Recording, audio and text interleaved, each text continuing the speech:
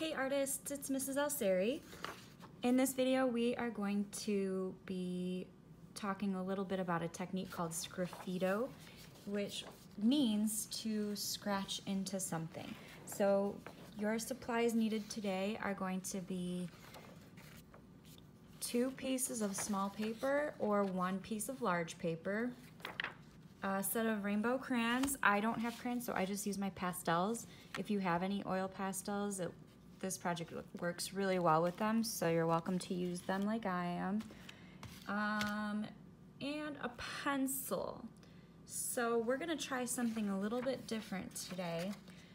You need either one big piece of paper or two small because you're actually using two pieces of paper for this work of art. So if you have a big piece, what you're gonna need to do, when I say big, I mean like full notebook size if you're using composition paper, or if it's printer paper, um, then that's considered a big piece of paper for this lesson. So if you have anything smaller than printer paper, I would use two of those. If you don't, I'm going to show you what to do. You're first gonna fold your large piece of paper in half, and if you don't have large paper, you don't have to do this part. You're gonna cut right on the fold, and how many pieces of paper do you think I'll have after I cut on the fold? Two, okay? So um, the cut doesn't have to be perfect. This is so that you have one piece that you're going to color entirely with crayons. We're gonna work hard today. The other piece, we're going to put on top, and you're going to do a drawing, a fish and pencil.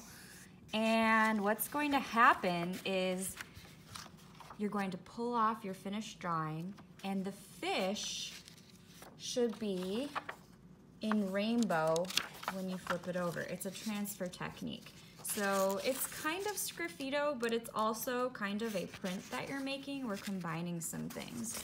And you probably don't really, won't really understand until you watch me. So first thing I'm gonna do, I have my supplies with me. I've got my two pieces of paper that are pretty small. Um, if you wanna do big, you ha will have a lot of work to do. So cut that big paper in half. Set your other piece next to you. And I am actually just gonna start with yellow. I'm gonna start at the bottom. And I'm gonna color, color, color, color, color. And I'm gonna color really fast. I'm going to color using more pressure than I normally would. Not so far that you break your crayon, uh, but try not to leave white space. So we're not scribbling. We're doing our best to go fast, but at the same time, paying attention to cover up the paper. And you're just gonna do a, a band of colors. When I say a band, I mean like this rectangle that goes across. You're gonna do it with every color in the rainbow. So I'm going to color about that much. It's like the size of a small bookmark. And I need to fit every color of the rainbow, so I don't want too much yellow, just a little strip of color. Make sure that I color hard so that I can scratch off a little bit with my fingernail. That's the right amount of pressure. If you push really light, this project won't work. Um, so next color in the rainbow would be orange.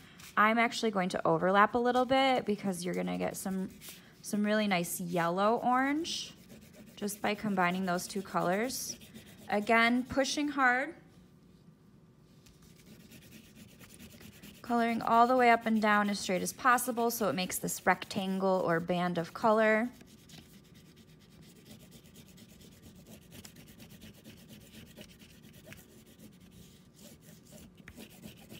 Something like that. And if I make it a little bit too too thick, then that's actually a good thing because now the color next would be red, right?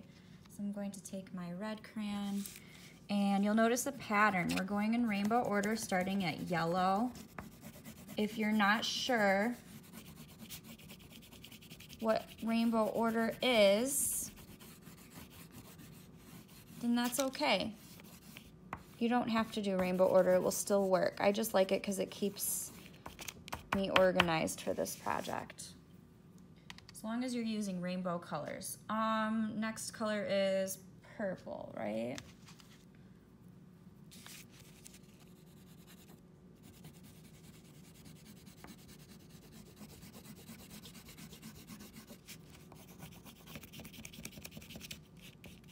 This is going faster than I thought it would, which makes me happy. That means I have more time to work on my fish because we have such a short amount of time together. I'm hoping we can actually get this done while we're meeting today.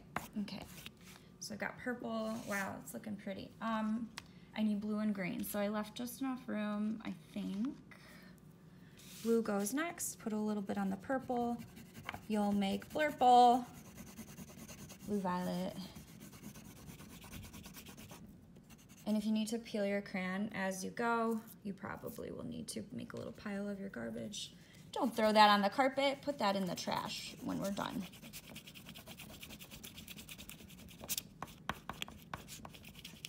See, I got that nice blurple in there. And I kind of, because I'm going all the way to the edge, sometimes I should probably go slower and hold my edge down. Go back and make sure that there's no white, so push a little harder. okay, next would be, what color is next in the rainbow? There you go, green. So maybe close to the edges go a little slower just because they like to creep up on us. Oh, I really love that blue-green that I made.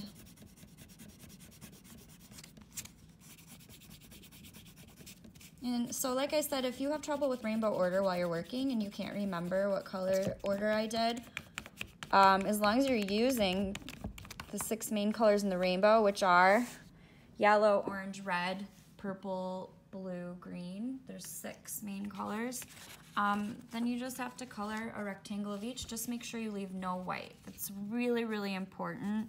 Even if you don't overlap them, you have to keep them right next to each other. Okay.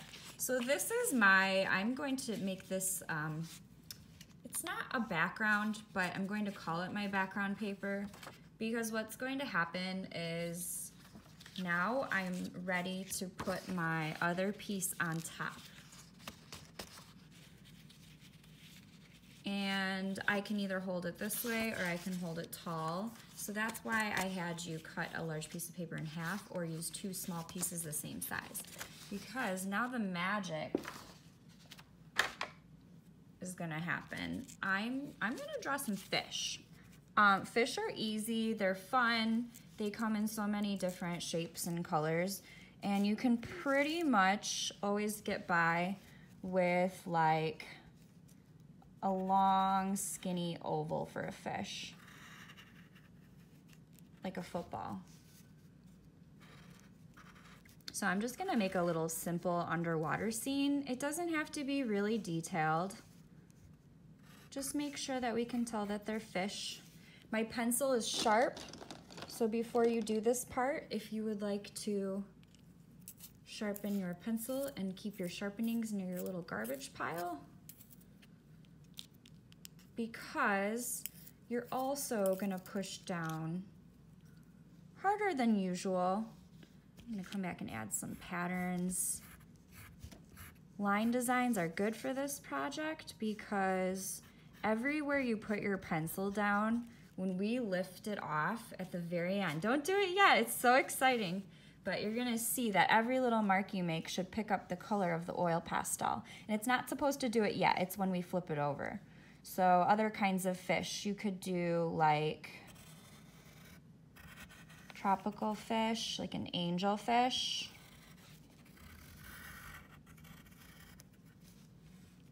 Angelfish have fancy wings. Almost, they're not wings. They look like wings. They're fins, right? They just glide through the water. Some fish have really large eyes. I do a circle and then another circle in the middle.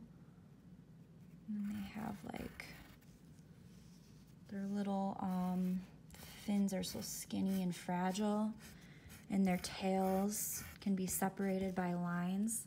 So really take your time. Draw at least, I say at least six fish um, because all this blank space, you really want to fill it up. Now I'm going to do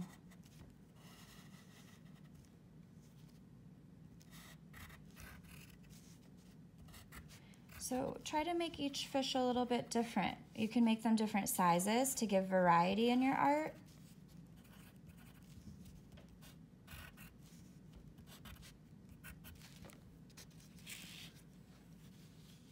Add a pattern to each of them. Some spots or stripes. This is your underwater picture. I'm gonna make a long one. With spiky fins. And the tail, I just think about a triangle. Give him an eye. How about one more? I have one, two, three, four, five. I can fit a few more in.